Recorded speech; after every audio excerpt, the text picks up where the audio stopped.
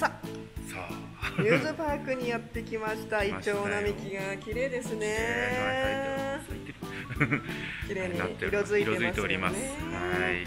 はい。さあなぜ私たちが今ここにいるかと言いますとヒントはこういったところで。分かりますかね？なんかいっぱいテレビっぽいものが。照明がね。ね。ありますけど。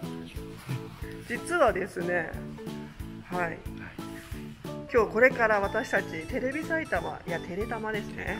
テレタマの生中継に出演します。決して夫婦ではありません。テロップ出る。はい、ということで秩父のね、はい、秋の情報をあの発信するために私たちテレタマに選んでいただきまして、はい、光栄です。これから出演をしたいと思いますが、生荒木アナをね、先に見て、どうですか？テンション爆、だだ上がりです。爆上げでございます。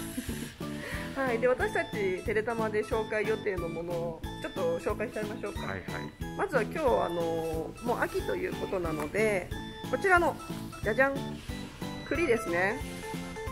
はい、でこの栗が実は普通の栗ではなくて。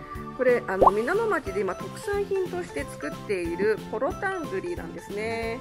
ポロッと剥けるのがはい味噌のこのポロタングリなんですけどもはいあのちゃんとポロッと剥けるようにはいやっていきたいなと思っていますのではい見ていただければと思いますしはい、このポロタングリを使って今スイーツなんかもね開発されたりしてるんですけどじゃんこれ。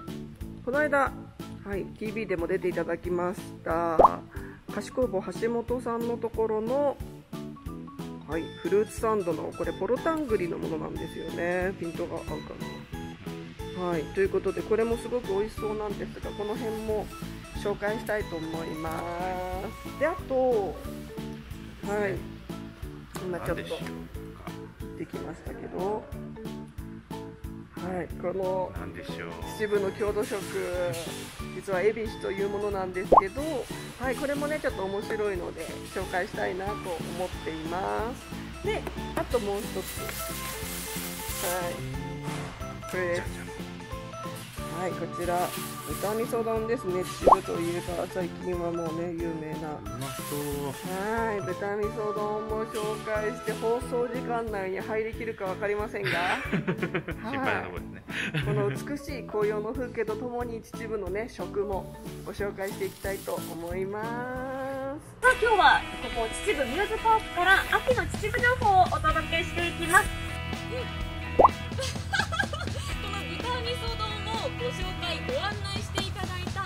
秩父おもてなし TV の名物 MC 小泉さんに今日はお越しいただいております。こんにちは。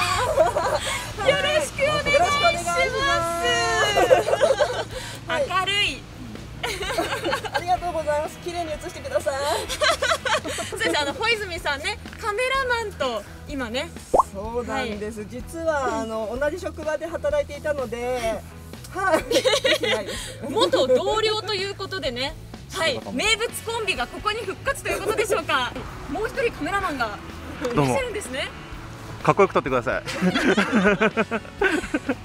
おもてなし TV が今のこの中継の様子をなんと取材してくださってる。そうなんですよ。はい。そうなんです。なので七五もてなし TV の YouTube チャンネルチャンネル登録お願いします。さあということで中継が2回来るんですけどそのうちの1回が今終わりました。はい。あらちゃんがもうよかったら一言。早く食べたいです。ね、すごい気になる商品。ね秋の味覚美味しそうなの出していただきました。じゃあ第2の中継行きましょうか。行きましょう、はい、行きましょう。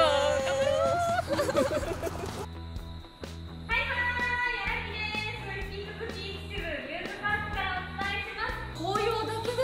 はい、そうなんですたくさん食べるものあるんですけれども今日はじゃじゃんとこんな風には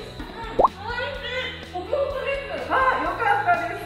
もう宮野町のね農家さんたちが10年前から始めていて、こんな大きなねコーナーできています。はい、この山田君もはい食べてもらいたいと思いますが、とろっと。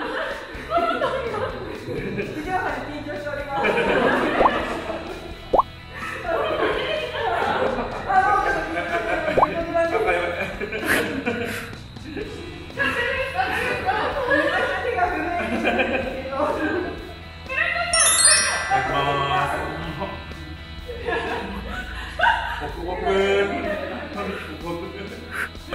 だきます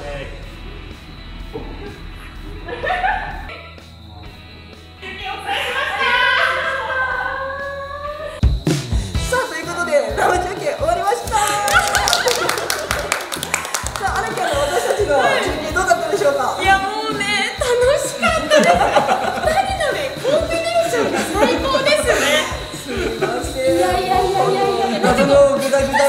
村田さんのもう食べっぷりもいいですし小泉さんのツッコミもやっぱりもう長年一緒にいるだけって的確そういうことね学ばせてもらいましたえ本当に楽しかったです笑いっぱなしでしたこれにこれ以上にまた秩父に来ていただいてそしておじゃす TV にもぜひ出演していただいてぜひぜひよろしくお願いしますもっとコラボしたいですありがとうございますテレタマにもちゃんちゃんぜひ